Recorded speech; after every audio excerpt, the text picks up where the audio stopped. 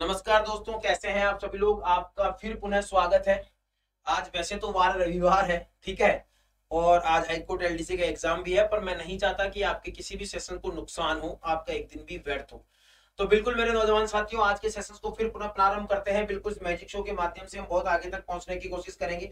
उम्मीद करता हूँ कि आपने एमसीक्यू बैच जो है, जो क्लास 24 की मोबाइल एप्लीकेशन पर है, मेरे द्वारा जो पढ़ाया जा रहा है एमसीक्यू बैच उसने, उसको भी आपने ज्वाइन कर लिया होगा। आप दोनों जगह से बेहतरीन तैयारी कर रहे होंगे।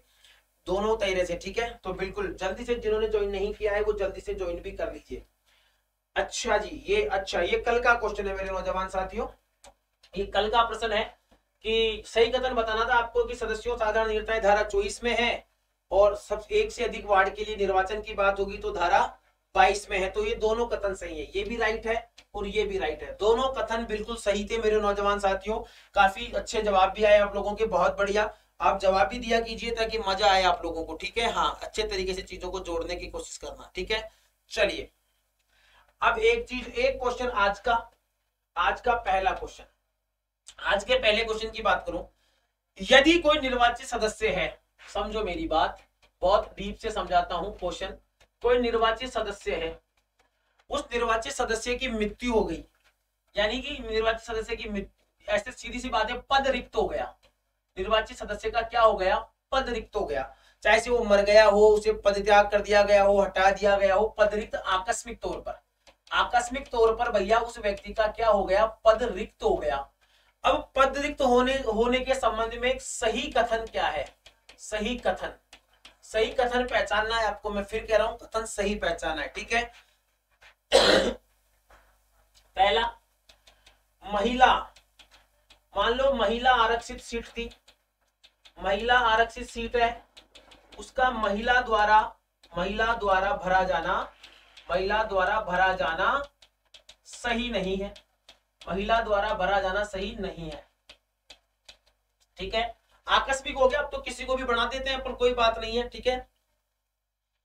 एस सी और ओबीसी की अगर रिक्ति है, रिक्ति का मतलब आप क्वेश्चन से नहीं, मेरी लैंग्वेज पर जाइए। S C S T OBC की कैटेगरी को रिक्ति है तो उसे एस सी एस टी और ओबीसी से ही भरा जाएगा। ओबीसी से ही भरा जाएगा। बताओ, क्या जवाब होगा? दोनों में से कौन सा कथन सही है? दोनों में से कौन सा कथन सही है? महिला आरक्षित सीट महिला द्वारा भरा जाना आवश्यक नहीं है। S C S T OBC की रिक्ति S C S T OBC से ही भरी जाएगी। बताओ कौन सा सही है? तो वाह, जल्दी जल्दी जवाब दो रहे जल्दी जल्दी लपेटो, फटाफट तरीके से जवाब क्या होने वाला है यहाँ पर। तो यहाँ पर बिल्कुल शानदार जवाब रहने वाला है। यहाँ पर ये बिल्कुल सही है कि भैया S C S T OBC की रिक्ति S C S T OBC से ही भरी जाएगी। और निर्वा, और देखो पद रिक्त, आकस्मिक तौर पर पद रिक्त हो गया। तो भैया धारा सत्ताईस में है, तूने मेरा साथ छोड़ दिया। तूने मेरा साथ छोड़ दिया दो ने साथ छोड़ दिया, तूने मेरा साथ छोड़ दिया। किसने छोड़ दिया साथ?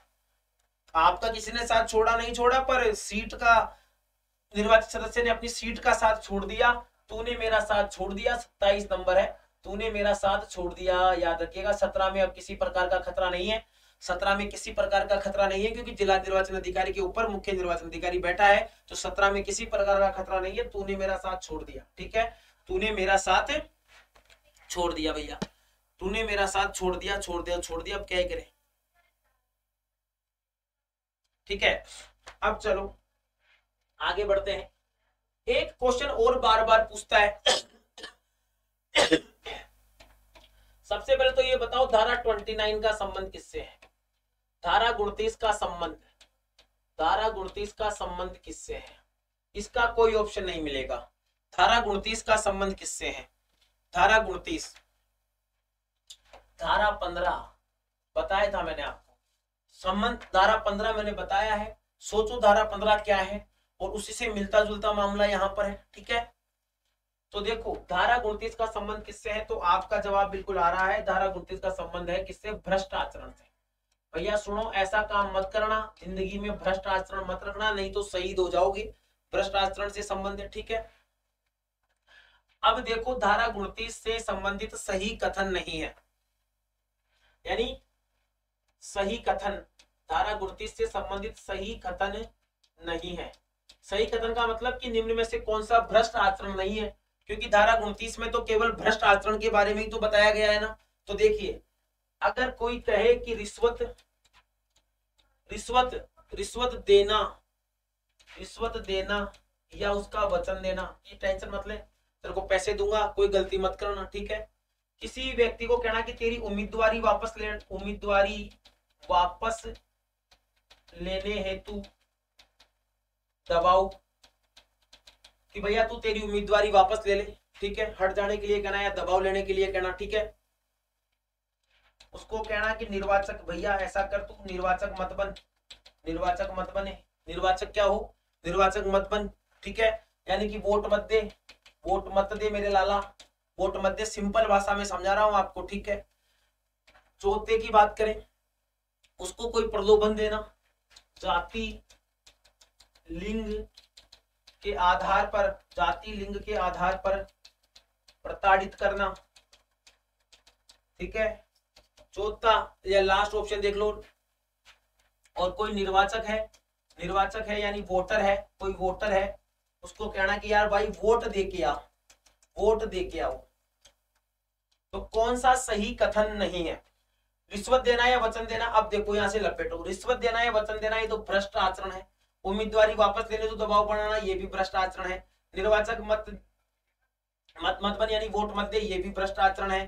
जाति लिंग के आधार पर उसको प्रताड़ित करना, ये भी वो है। और उसको सही बात कहना कि निर्वाचक, यानी वोटर को कहना कि भाई तू वोट दे के आ। क्या दे आ वोट दे के आ तो यह बिल्कुल यहाँ पर सही कथन नहीं है भ्रष्ट आचरण के हिसाब से, क्योंकि धारा उड़तीस केवल भ्रष्ट आचरण की ही बात करती है। तो यहाँ से यह चीज़ भी आपको अच्छे से याद रखनी है, ठीक है? जी हाँ। चलिए। एक क्वेश्चन और बताओ। मान लो ये भाई साहब है काड़ू राम जी है हमारे। काड़ू राम जी हैं। काड़ू राम जी पार्षद बन गए। अरे यानी कि सदस्य बन गए सीधी सी बात है नगर पालिका की। इन्होंने इन्होंने शपथ नहीं ली। शपथ नहीं ली। काड़ू राम जी है जिन्होंने क्या नहीं ली? काड़ू राम जी ने शपथ नहीं ली। शपथ लेने में क्या हो गई है? विफल हो गए, ठीक है? तो शपथ नहीं ली। तो कालू राम जी का जो पद है, वह रिक्त माना जाएगा। कालू राम जी का पद है, वह रिक्त माना जाएगा। कितने समय के भीतर समय, कितने समय के भीतर रिक्त माना जाएगा? ऑप्शन ले लो टेंशन मत लो, घबराओ मत हो तुम। तीन माह के भीतर, तीन माह के भीतर, एक माह के भीतर, एक माह के भीतर, पैतालीस दिन के भीतर, पैतालीस दिन के भीतर या इक्कीस दिन के भीतर, इक्कीस दिन के भीतर। तीन माह के भीतर, एक माह के भीतर पैतालीस दिन के भीतर या इक्कीस दिन के भीतर? बताओ सही जवाब क्या होगा? क्या भैया काड़ू राम जी ने शपथ नहीं ली तो काड़ू राम जी अब पद पर नहीं बने रहेंगे? अगर उन्होंने कितने माह के भीतर शपथ वपथ कुछ सोचा नहीं, बैठे हैं निठलों के सरदारों के बैठे हैं, ठीक है? तो सही जवाब क्या होगा? एक माह के भीतर होगा क्या? सही जवाब क्या होगा? एक माह के भीतर। एक माह के भीतर अगर शपथ लेने में विफल रहता है बंदा तो उसका पद क्या माना जाएगा? उसका पद रिक्त माना जाएगा। काड़ू राम जी पहले जहाँ थे वहीं के वहीं रह गए, दुनिया आगे बढ़ गई, वो पीछे रह गए। ठीक है? दुनिया आगे बढ़ गई और वो पीछे रह गई। ठीक है? चलो, जल्दी से बताओ। एक क्वेश्चन और टिकाते हैं। क्वेश्चन है नगर पालिका का कार्य नहीं है। नगर पालिका का कार्य नहीं है। पहला ऑप्शन ले लो आप। नगर पालिका कार्य में पहला ऑप्शन ले लो। आग बुझाना। दूसरा कार्यक्रम ले लो। नालियाँ साफ़ करवाना। तीसरा कारण ले लो। सार्वजनिक सार्वजनिक स्थानों पर लाइट लगवाना। चौथा ले सकते हैं आप। घरों का संख्यांकन। व मार्गों का नाम परिवर्तन। मार्गों का नाम परिवर्तन करना। कौन सा नहीं है? आग बुझाना तो यार दोस्तों फायर ब्रिगेड का काम है। नगर पालिका का काम है क्या? आप ही बताओ, मुझे नहीं पता। ठीक है? हाँ। उसका बताओ। चलो एक ऑप्शन और देता हूँ। थोड़ा और मज़ा आएगा। एक ऑप्शन और दूँगा, ज़्यादा मज़ा आएगा। जनता का संक्रामक बीमारियों का टीकाकरण करवाना। ठीक है? संक्रामक बीमारियों का टीकाकरण करवाना। बताओ सही जवाब क्या होगा? जल्दी से लपेटो। जल्दी से लपेटो। धारा भी बता दो किसी को आती है तो कौन सी धारा से संबंधित है? धारा आती है तो धारा भी लिख दो भाई। तो धारा लिख दो ना। धारा पैतालीस। धारा पैतालीस। याद रखना, इसमें कार्यों के बारे में कहा है। तो देखो, ये करो नहीं, घरों का। घरों का संख्यांकन व मार्गों का नाम परिवर्तन करने का नाम भैया नगर पालिका में नहीं है। पढ़ते हैं ना कि साहब दिल्ली में इसका नाम, इस रोड का नाम चेंज कर दिया, इस गली का नाम चेंज कर दिया, दिल्ली सरकार ने, केंद्र सरकार ने इसका नाम चेंज कर दिया। तो वह राज्य सरकारों के अधीन है सेंट्रल गवर्नमेंट के अधीन है। यह आपके नगर पालिका बेचारी छोटी सी संस्था है। उसका तो जनता से जुड़ा हुआ है। कहीं आग लग गई तो दमकल भेज देगी, बरसात से पहले नालियाँ साफ़ करा देगी, दीपावली पर लाइटें लगा देगी, अभी कोरोना आया तो घर घर जाकर टीकाकरण करवा देगी कि भाई टीके लगवा लो, नहीं लगवाए तो टीके आप लगवा लो, अगर आपने टीके नहीं लगवाए हैं तो आप टीके लगवा लो। ठीक है? ऐसे काम भी यहाँ पर किए जा सकते हैं। बिल्कुल याद रखिए। वेरी गुड हाँ। एक क्वेश्चन आज का आपका होमवर्क क्वेश्चन बताइएगा मुझे। अध्यक्ष कमेंट करिएगा अध्यक्ष की अनुपस्थिति में। अध्यक्ष की अनुपस्थिति में बैठकों का, बैठकों की बैठकों की अध्यक्षता, बैठकों की अध्यक्षता कौन करेगा?